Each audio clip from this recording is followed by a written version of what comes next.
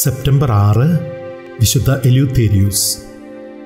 അതിശയകരമായ ലാളിത്യവും സഹാനുഭൂതിയും നിറഞ്ഞ ഒരു പുണ്യപുരുഷനായിരുന്നു വിശുദ്ധ എലിയുത്തേരിയൂസ്.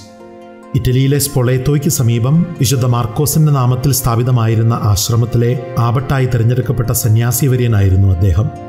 അദ്ദേഹത്തിന്റെ ആദ്യകാല ജീവിതത്തെക്കുറിച്ച് വ്യക്തമായ വിവരങ്ങളില്ല. മഹാനായ വിശുദ്ധ ഗ്രിഗറി മാർപ്പാപ്പയുമായി എലിയുത്തേരിയോസ് അടുത്ത ബന്ധം കാത്തുസൂക്ഷിച്ചിരുന്നു.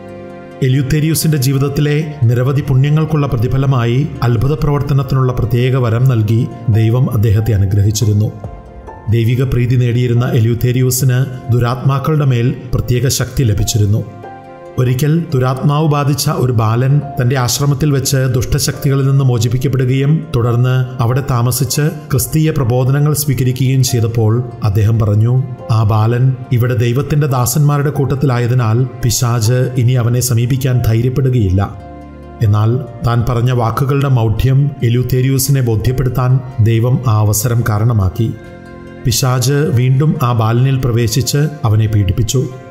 തന്റെ തെറ്റ് തിരിച്ചറിഞ്ഞ് അദ്ദേഹം താഴ്മയോടെ തന്റെ തെറ്റേറ്റു പറഞ്ഞു ആ ബാലൻ വീണ്ടും പൈശാചിക ബന്ധനത്തിൽ നിന്ന് മോചിതനാകുന്നതുവരെ അദ്ദേഹം തന്റെ മുഴുവൻ സമൂഹത്തോടൊപ്പം ഉപവസിക്കുകയും പ്രാർത്ഥിക്കുകയും ചെയ്തു. മഹാനായ വിശുദ്ധ ഗ്രിഗറി മാർപ്പാപ്പയ്ക്ക് ഒരിക്കൽ കടുത്ത ക്ഷീണത്തെ തുടർന്ന് ഈസ്റ്ററിന്റെ തലേദിവസം ഉപവാസമനുഷ്ഠിക്കാൻ കഴിയാത്ത ഒരു സാഹചര്യമുണ്ടായി.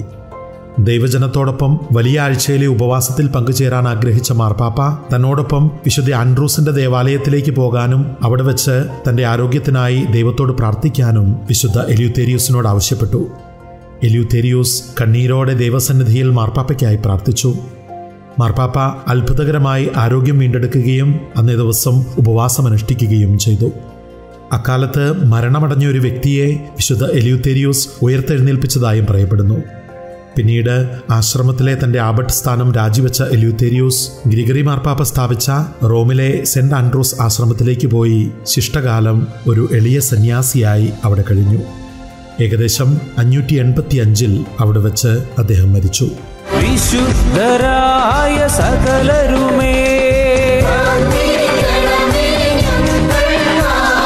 സ്വർഗനിവാസികൾ സകലരുമേ.